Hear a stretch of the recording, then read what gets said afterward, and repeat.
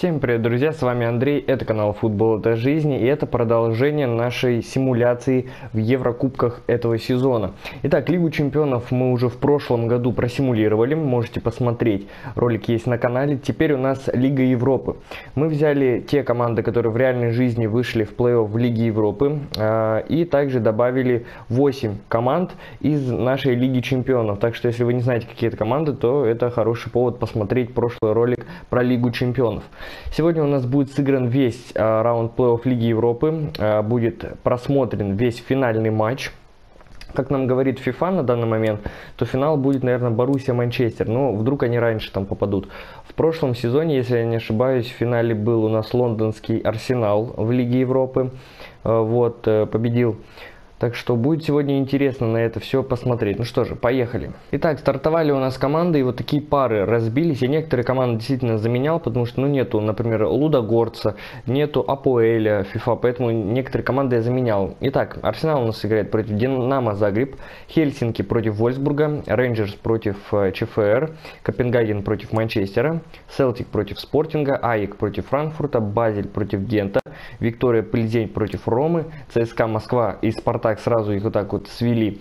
А, Челси, Вулверхэмптон тоже сразу свели. Байер, Хетафе, Мальмо, Эспаньол, а, Севилья, Порту, Брюги, Зальцбург, Башакшахир, Шахтер, Брага, Боруссия, Дортмунд. Ну что же, отыграем весь раунд 1-16 Лиги Европы и уже посмотрим на результаты. Ну что же, а вот они результаты 1-16 Лиги Европы. Арсенал обыграл Загреб со счетом 6-1. Вольсбург разгромно 7-0 обыграл Хельсинки. Рейнджерс обошел все-таки минимально ЧФР. Манчестер без всяких трудностей прошел Копенгаген. В равной борьбе Спортинг все-таки выигрывает по голам на чужом поле и проходит Селтик. Франкфурт побеждает только по пенальти лишь Аек.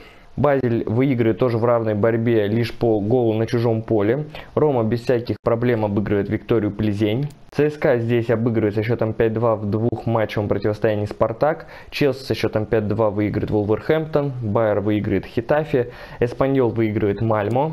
Порто обыгрывает Севилью. Брюги по голу на чужом поле выигрывает Зальцбург. Шахтер проигрывает Башакшахиру и Боруссия Дортмунд выигрывает Брагу. В 1-8 Лиги Европы у нас появились вот такие интересные пары. Арсенал Вольсбург, Рейнджерс Манчестер Юнайтед, Спортинг Франкфурт, Базель Рома, ЦСКА Челси, Байер Эспаньол, Порту Клуб Брюги и Башакшахир против Дортмунда. Ну что же, посмотрим мы, а, просимулируем мы матчи 1-8 Лиги Европы и вернемся к вам в четвертьфинале. Итак, стадия 1-8 подошла к концу. Арсенал со счетом 4-2 обыграл Вольсбург. Манчестер 4-1 Рейнджерс обыграл. А, Спортинг обыграл 4-2 Франкфурт. Рома 6-1 обыграла Базель. Челси 3-0 обыграли ЦСКА. Байер 5-1 обыграл Эспаньол. Порто 6-0 разгромил Брюги. И Боруссия со счетом 7-1 проходит Башик-Шахир. В четвертьфинале у нас э, сразу такое английское дерби. Это Арсенал и Манчестер Юнайтед. Дальше идет Спортинг против Ромы, Челси против Байера и Порту против Дортмундской Боруссии. Так что пока что наши фавориты, как сказала FIFA, это Манчестер Юнайтед и Боруссия Дортмунд на Лигу э, Европы остаются. Так что будет на это интересно посмотреть. Ну а мы продолжаем и теперь у нас уже полуфиналы. Ну что же, а четвертьфиналы у нас закончились вот так вот. Манчестер Юнайтед, главный фаворит турнира, вылетает от Арсенала со счетом 3-2. Рома обыгрывает Спортинг со счетом 6-0. И Байер проходит Челси со счетом 2-1. Ну и Боруссия Дортмунд, это, наверное, последний такой вот фаворит, который сказал FIFA, пока что проходит со счетом 3-0 Порту полуфинале у нас Арсенал Рома и Байер Боруссия Дортмунд. Ну, скорее всего, будет опять Арсенал в финале, но будем, значит, надеяться, что Дортмундская Боруссия, которая в реальной жизни прошла, между прочим, в плей-офф Лиги Чемпионов, в нашем э, турнире в Лиге Чемпионов они заняли третью строчку, пропустив вперед Интер, так что, может быть, сейчас они все-таки смогут выиграть хоть трофей Лигу Европы.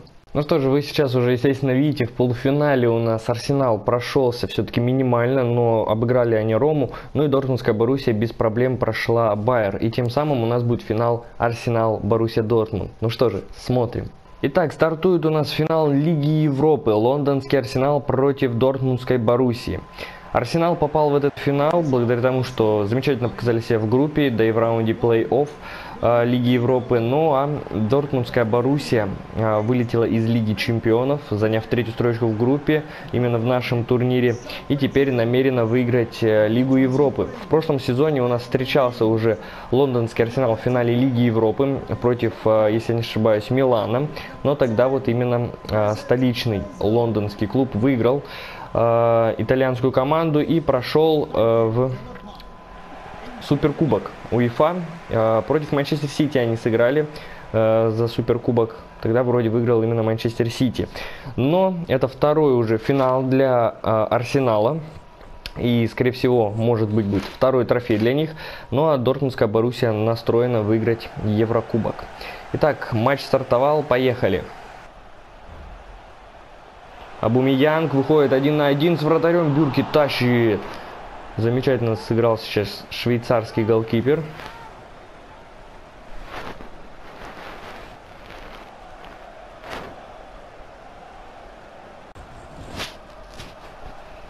Но все равно, не зря все-таки они, наверное, вылетели. Озил. Вот та, такой нам иллюзию немного сделал э, этот момент. Рядом со штангой пролетает мяч. Мисут Озил не забивает свой гол. И опасный был сейчас удар. Пока что только Боруссия обороняется в этом тайме. Арсенал лишь атакует, даже уже и Тирни. Раньше игрок Селтика а в этом сезоне перешел в лондонский Арсенал. Ну и теперь он атакует. В финале Лиги Европы, кто мог подумать, ну и теперь вот Николя Пипе на угловом. Пока что не открыт еще счет, но моменты как раз создает именно лондонский клуб. Для них все-таки этот турнир уже не в новинку. Вот 4 удара, один лишь в створ. 58 владения на 42. Ну и точность ударов и пасов у них практически идентична. На поколь Кассера. Санчо можно пониже, вот сюда, вот на Ройса. И это первый опасный момент у Боруссии. Сразу же дело до удара в створ дошло. Но Бернт Лена играет против немецкой команды сейчас и не пропускает от главной звезды Боруссии Марко Ройса. И все, заканчивается основное время игры со счетом 0-0. Будет у нас продолжение дополнительное время. По ударам немного изменило свое отношение Боруссия, даже больше нанесла в створ, чем Арсенал. Но пасы одинаковая точность, да и владение перешло уже во владение Дортмунда. Санчо, аккуратно на Холланда, Эрлинг Холланд новое приобретение Дортмундской Боруссии в это зимнее трансферное окно. И вот так вот пробивает он, но пока что только угловой. Подбор за Арсеналом. Дани Сибалиос. Абумиян. Будет ли удар? Будет ли удар? Бюрки тащит и спасает Дортмунд. Выводит пока что он Дортмунд в э, пенальти на эту стадию. Не дает закончиться матчу сразу вот так вот. И шикарный сейв голкипера будет еще угловой, конечно, но... И все. Серия пенальти сейчас у нас будет.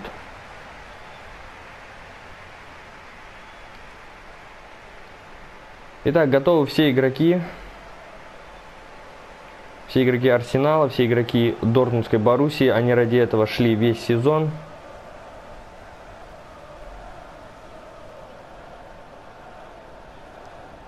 И после дополнительного времени нам показывают со счетом 0-0.